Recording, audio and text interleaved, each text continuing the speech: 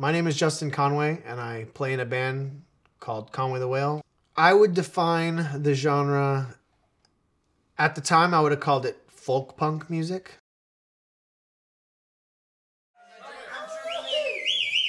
I'm not gonna try to bring you guys down, but this first song is about the worst day of my life, and it goes a little like this.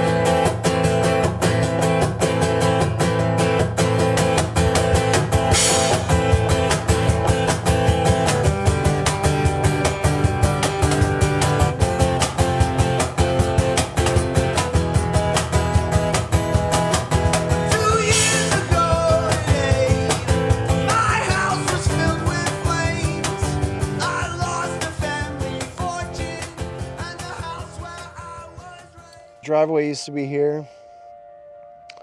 There was a kind of a breezeway, which is kind of like a side entrance in the center of the house where family would come in for lunch. My mom would get off for lunch and she'd have her lunch break here.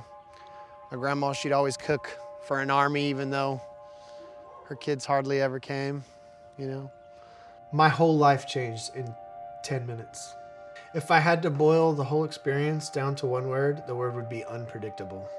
And I still feel to this day that every time I leave the house might be the last time I ever see the house or anything inside. I think the song Two Years resonates with people because it represents an artist that is going through one of the darkest times in their life. After a year or so, I thought I need to, instead of tell the story over and over again the same way I always do, I'm going to write it in a song that hopefully I could make something positive out of this so that way people can hear the story, but also they could see that it doesn't end at that. The disaster doesn't have to define you.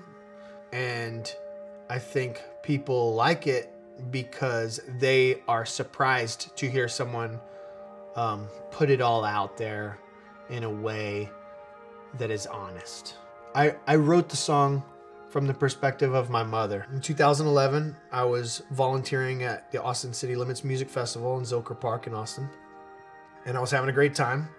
And on the second day, I got a phone call from my mom, and she wanted to tell me before I heard from anybody else is that she took my grandmother out to run some errands, maybe to a, a doctor's appointment or to go shopping, and they brought her home. My mom brought my grandmother to her bedroom and uh, left her there to go to the living room, get on the computer, check her social media. And as she's sitting there, she smells something strange. And she gets up and she goes into her mother's bedroom and she finds her on fire.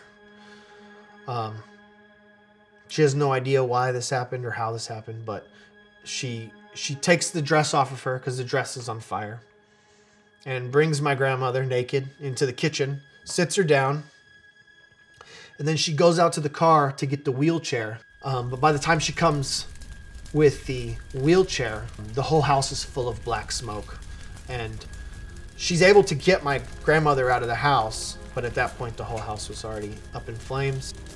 The neighbors called the fire department. And it wasn't until I went and saw the house, and when I went to Sam Houston and I went into that room and I saw my grandma, and I saw that she could only communicate through blinking, and that she had to be in a room that was like over 90 degrees because germs grow in cold temperatures and stuff like that. When I, that, you know, it kind of brought it all home.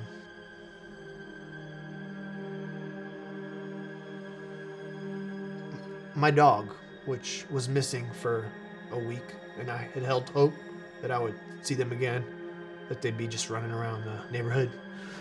But uh, they had hid under my bed and probably asphyxiated, and so um, I followed the flies.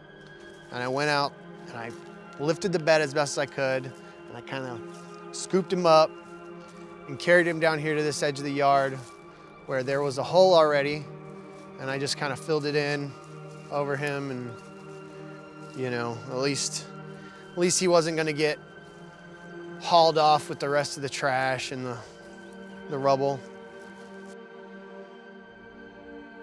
My advice for people who are going through a similar situation or a personal tragedy is to not carry it all by yourself. Because people want to help you, people want to see you do well and heal.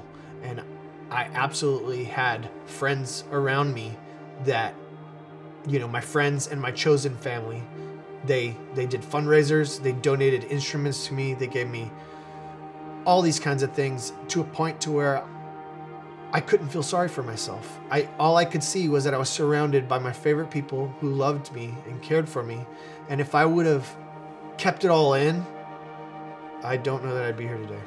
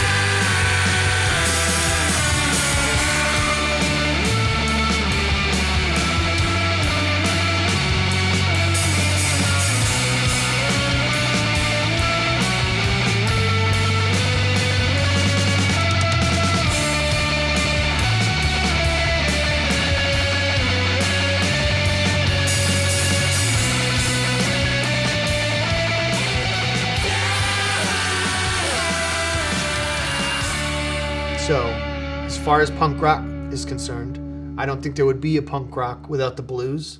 And essentially, I think the song is a blues song because it takes the suffering and it makes something worthwhile.